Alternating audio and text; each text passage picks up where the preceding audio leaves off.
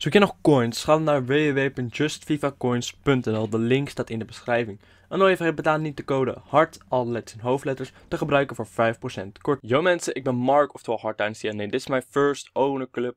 Waar ik voor zo'n 3,5 tot 4 miljoen aan coins heb, ge packs heb geopend natuurlijk.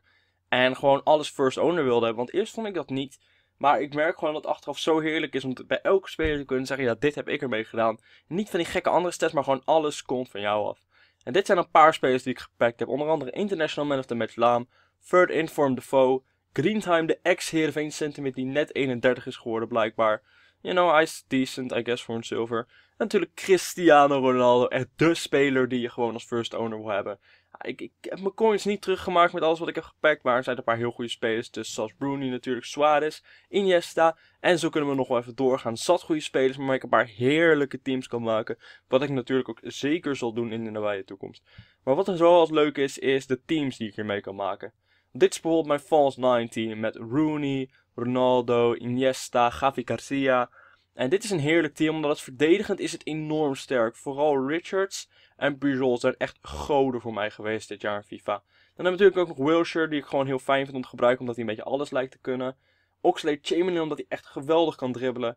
En ja, Rooney, omdat ik hem ooit één keer in de false nine heb gebruikt. En dat was echt een van de beste dingen die me ooit is overkomen. Ik heb nog geen potje gespeeld met, deze, met dit account. Maar ik weet zeker dat het gewoon heerlijk zal spelen. Dit is dan mijn sweat team. Uh, International Man of the Match Laam zit erin. Ik ben van het tiki-taka voetbal, 9 van de 10 keer. Maar er zijn gewoon van die dagen dat ik zoiets heb van, nee, dit gaat hem niet worden. En dan ga ik gewoon op de voorzet spelen. En daar is dit team wel redelijk geschikt voor. Ja, ik kan er ook een longshot mee doen, zo hier en daar. Ik zal het vast proberen. Kiesling kan het, dat ik weet. En Shakiri kan het ook. Maar ik zal gewoon af en toe, als ik het wil, als ik echt zo'n kutdag heb, zal ik gewoon met dit team op de voorzet spelen. Dan hebben we mijn Serie A team, wat natuurlijk puur gemaakt voor Mario Balotelli. Ik vind hem echt geweldig, zowel in real life als in FIFA. En dit team ziet er redelijk solide uit. Ik ben een grote fan van Kandreva. En ik denk dat Palazzi ook zeker geweldig zal zijn.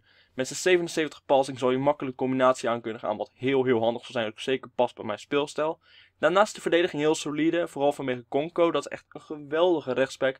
Voor zo weinig coins is hij zeker eentje die je moet halen. Ruim onder de K.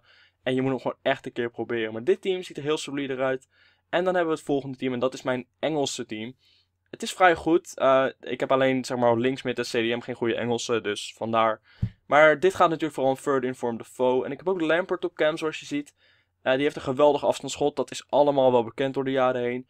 Maar ook gewoon zijn passing is prima. Die zal makkelijk steekpas kunnen geven op mijn snelle spitsen. Daarnaast vond ik Milner al geweldig sinds Rote City en wist ik dat ik nog een keertje moest proberen. En ook Terry is geweldig. Als jij een beetje je spelers weet te controleren en in positie weet te houden, dan is hij echt een van de beste verdedigers. En als je zijn team of the season kan betalen, dan moet je dat ook echt zeker weten doen. Maar dit zijn mijn teams en mijn spelers die ik tot nu toe heb gemaakt op mijn first owner account. Als je hier meer content mee wil zien, laat het dan vooral weten in de reacties. Laat ook een like achter als je hiervan genoot. Morgen weet ik niet wat ik ga uploaden, maar abonneer en dan zie je het dan wel. Doei!